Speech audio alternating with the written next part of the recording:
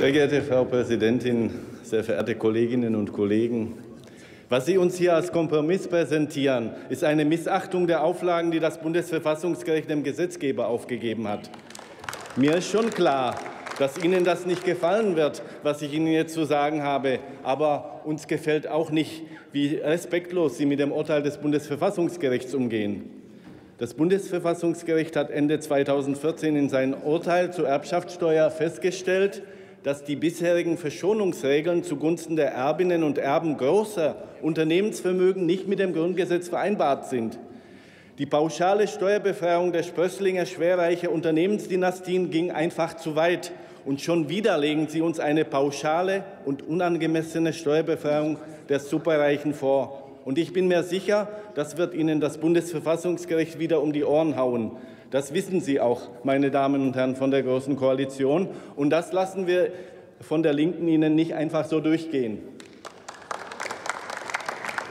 Dass Sie es nicht schaffen, ein verfassungsgemäßes Gesetz auf den Weg zu bringen, ist das eine. Das andere ist die Art und Weise, wie Sie unter dem Druck der Unternehmenslobby eingeknickt sind. Die letzten Wochen und Monate waren ein einziges Trauerspiel, in dem wieder einmal der Einfluss der Superreichen in die Politik deutlich wurde. Die Lobby hält das Stöckchen und Söder und Co. springen artig drüber. Dabei wurden Märchen erzählt, wie auch vorher, apokalyptische Bilder gezeichnet, Stärkenszenarien verbreitet. Zum Beispiel dem Wirtschaftsstandort Deutschland dort Schlimmes. Ja, gar eine Kernschmelze des deutschen Mittelstands, wenn man die Erben vom betrieblichen Vermögen belaste. Es gehe um den Fortbestand der Arbeitsplätze, die durch die Abschmelzung von Privilegien bedroht würden. Was für ein Quatsch. Meine Tochter würde sagen, Quatsch mit Soße. Es hat nachweislich noch nie einen Fall gegeben, darauf ist von Dietmar Bartsch eingegangen worden, in dem ein Unternehmen der Last der Erbschaftssteuer wegen pleite gegangen wäre. Und sollte ein Unternehmen wirklich mal der Erbschaftssteuer wegen in Schieflage geraten, wäre eine großzügige Stundung völlig ausreichend. Den Superreichen geht es einzig und allein darum, ihre Privilegien zu sichern, aber Union, SPD und leider nun auch einige Grüne gehen ihnen voll auf den Leim. Das ist mit Verlaub schlichtweg peinlich, liebe Kolleginnen und Kollegen.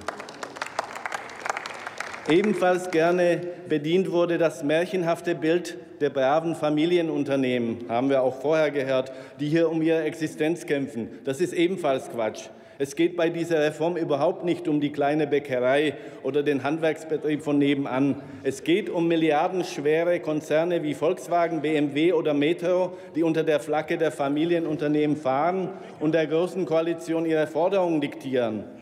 Das ist Klientelpolitik aus der untersten Schublade, liebe Kolleginnen und Kollegen. Und apropos Klientelpolitik, dass die Union die Unternehmerlobby bedient, ist ja nicht weiter verwunderlich.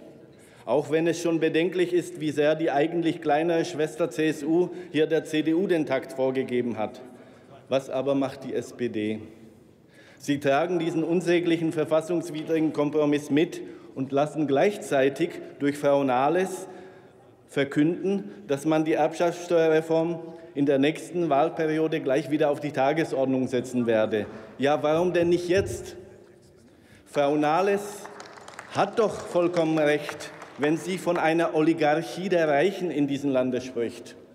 Also, liebe Kolleginnen und Kollegen von der SPD, reißen Sie sich endlich am Riemen und nehmen Sie sich ein Beispiel an der Linken, die diesen Kompromiss von Anfang an als das bezeichnet hat, was es ist, ein weiteres Geschenk an genau diese Oligarchie der Reichen. Zuletzt noch ein Wort zu Bündnis 90 Die Grünen. Liebe grüne Kolleginnen und Kollegen hier im Hause, ich schätze es sehr, dass Sie gleich angekündigt haben, den vorliegenden Kompromiss nicht mittragen zu wollen. Aber was machen denn bloß Ihre Leute in den Ländern? Entscheiden sind doch die grünen Stimmen im Bundesrat.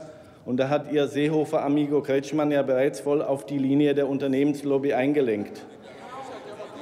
Dadurch, dadurch werden es am Ende wohl doch die Grünen sein, die dieser Klientelpolitik durch ihre Bundesratsstimmen zu Gesetzeskraft verhelfen. Und das ist nicht gut so. Vielen Dank für Ihre Aufmerksamkeit. Vielen Dank. Als nächste Rednerin hat Kansel Kitzel-Tepe von der SPD-Fraktion das Wort.